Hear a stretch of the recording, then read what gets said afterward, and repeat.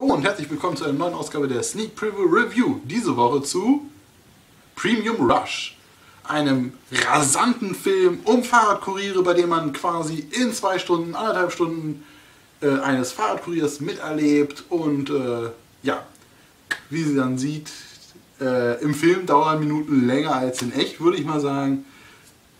Es gibt Rückblenden, es ist ein wahnsinnig netter Film, es ist ähm, die Hauptdarsteller sind einem fast sympathisch. Man lernt eine ganze Menge über das Fahrradfahren in New York. Zum Beispiel, dass, der, dass die Bremse der Tod ist und ähm, dass es äh, zwei Sorten von Berufen gibt, Anzugträger und Fahrradkuriere.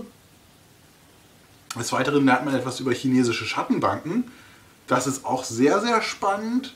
Damit kannte ich mich vorher überhaupt nicht aus. Werde ich nächste Woche auch mal ausprobieren. Naja, mal sehen. Auf jeden Fall, man hatte in dem Film keine Langeweile. Es kam irgendwie nie Langeweile auf, weil immer passiert irgendetwas. Äh, ja, äh, es ist einfach schön, da wird einer verfolgt und die ganze Zeit denkt man, so ein Mist. Und äh, ja, es macht Spaß, den Film sich anzugucken. Dementsprechend schaut ihn euch an. Der Hauptdarsteller ist äh, weiß den Namen nicht, aber man kennt ihn zum Beispiel aus Serien wie Hinterm Mond gleich rechts oder was links. Also, der hat schon früher irgendwelchen Quatsch gemacht und jetzt scheint er wieder in Mode zu kommen. Also bis nächste Woche. Viel Spaß mit diesem Film.